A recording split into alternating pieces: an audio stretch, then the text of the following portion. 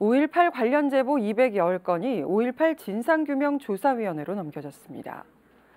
광주시와 5.18 기념재단은 7일 이관식을 열고 지난 2017년부터 전국에서 보내온 제보 210건을 5.18 조사위에 전달했습니다.